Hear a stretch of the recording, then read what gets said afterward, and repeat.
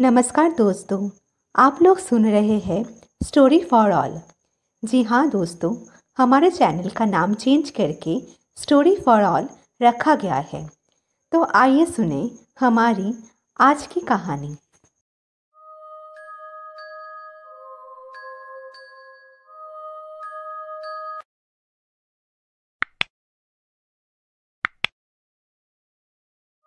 Highway में शीना की car तेज़ी से चली जा रही थी। शीना की बेस्ट फ्रेंड की शादी थी आज। काफ़ी देर हो गई थी वहाँ से निकलने में। बार बार शीना के फ़ोन पे किसी का कॉल आ रहा था, क्योंकि कॉल बार बार आ रही थी तो शीना ने कॉल रिसीव किया। हेलो कौन?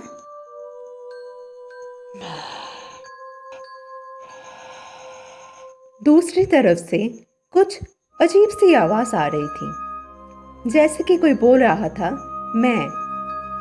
पर क्योंकि आवाज़ साफ़ नहीं थी तो इसलिए शीना ने कॉल काट दिया।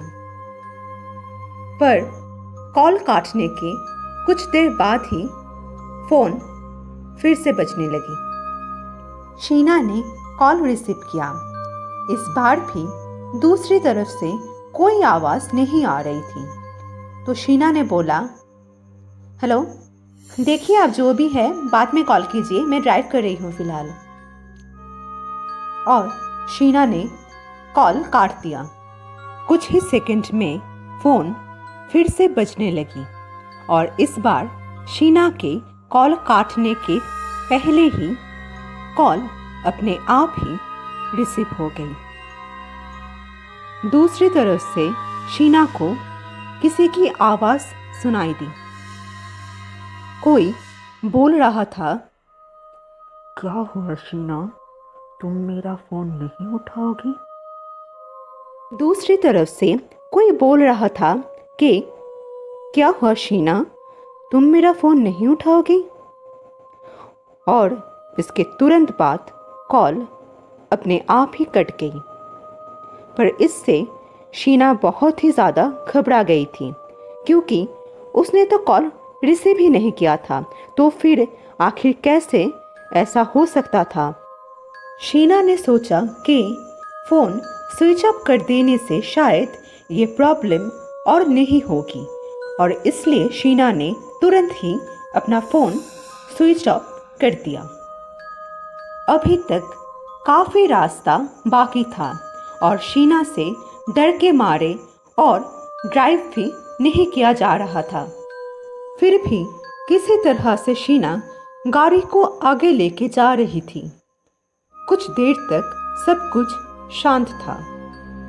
कुछ देर बाद शीना को महसूस होने लगा कि जैसे गाड़ी में उसके अलावा भी कोई और मौजूद है। जैसे मानो पीछे के सीट में कोई बैठा है। पीछे मुड़कर देखने की हिम्मत शीना में नहीं थी। इतने में गाड़ी अचानक से रुक गई। गाड़ी में किसी और की मौजूदगी साफ़ महसूस हो रही थी। किसी तरह से शीना ने गाड़ी का दरवाज़ा खोला और भागना शुरू किया। पीछे किसी की आने की आहट शीना को महसूस हो रही थी। बस किसी तरह से हिम्मत जुटा के ओ भाग रही थी। डर के मारे किस तरफ़ जा रही है, ये शीना को मालूम ही नहीं था। काफ़ी देर भागते भागते एक समय शीना के आँखों के सामने अंधेरा छाने लगा और वो बेहोश हो गई। जब आँखें खुली तो शीना ने देखा कि वो एक कमरे में लेटी हुई है। उसके आसपास कुछ लोग उसे घिरे हुए हैं। शीना को होश आते देख उनमें से एक ने पूछा, अब कैसा लग रहा है? तो शीना ने बोला कि वो अब ठीक है। और इसके साथ ही शीना ने वो सब भी बताया जो उसके साथ कल रात को हुआ था।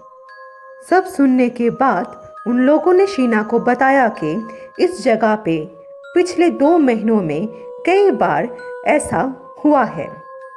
और इसके पीछे का राज भी शीना को बताया गया। करीबन दो महीने पहले एक लड़का काफ़ी रात गए हाईवे से जा रहा था। ड्राइव करने के साथ ही वो अपने दोस्तों के साथ वीडियो कॉन्फ्रेंस में बात भी कर रहा था। ध्यान फ़ोन की तरफ़ होने के कारण अचानक जब ट्रक सामने आ गई तो वो संभाल नहीं पाया और एक्सीडेंट में उसकी मौत हो गई। उस दिन के बाद से, जब भी उस एक्सीडेंट की जगह के आसपास से रात को कोई इंसान अकेला गाड़ी चला के गुजरता है तो उसके साथ ऐसा ही हादसा होता है। उस लड़के की आत्मा कभी फ़ोन करके तो कभी किसी और तरह से परेशान करता है। तो दोस्तों, ये थी हमारी आज की कहानी। अगर आपको ये कहानी पसंद आई है तो ज़रूर लाइक और शेयर करें। हम फिर लौटेंगे एक नई कहानी के साथ।